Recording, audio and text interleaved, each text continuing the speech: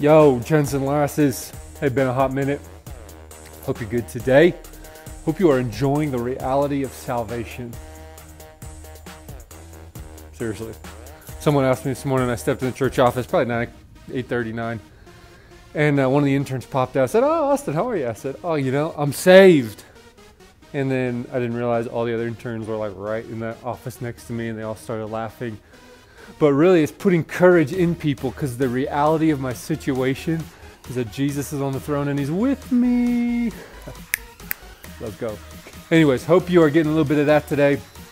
Hey, I think it's day 10 of this press on, maybe day 11, and just want to give you a quick update. Uh, even just this morning, you know, uh, with the press on, there's three things, man. Meet with God every day, pray every day, but then love somebody on purpose every day. And uh, one of the things I'm trying to do is encourage one, two, three people every morning. Maybe it's email, Voxer, text, phone call, whatever.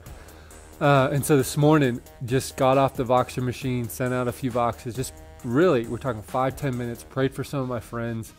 And it's shocking how easy it is and how I get God's heart for people when all I do is take some intentionality and yield to the Holy Spirit and say, okay, what are you praying right now for these guys? And I just agree with it. And then I text them and tell them.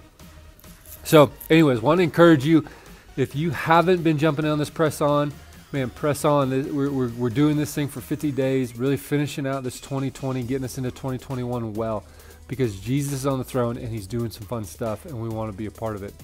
So that's that. I've been praying Ephesians 1 over myself, uh, over my friends, some of my friends, and really trying to share that freely. In, in I think it starts in verse 16, but Paul prays that the eyes of our heart would be enlightened, that we would know the glorious riches for us that are in the saints. And it's like the riches of God are found in his people, sharing life with them. And so think about uh, hey, who is someone that you love sharing life with, and how can you go love them today? How can you go do something for the sake of others so that we can participate and enjoy the glorious riches of God that are in the people of God? So, anyways, jump on that today. My wife and I are brainstorming of, hey, what are some fun ways we can give some money away to some of our friends? And man, it's just, it's so fun to get to love people and not get caught up in the chaos of the news, the chaos of sin, but like, man, meet with God, be loved on myself, encourage somebody else, pray for our nation, pray for our city. So jump in with us. On day 10, and uh, I'm in Ephesians 1, praying that over you today. Check it out, man. Check it out. Read the Bible, do what it says, it'll change your life. Uh, anywho, enjoy the Christmas season. YouTube, we'll see you around the world.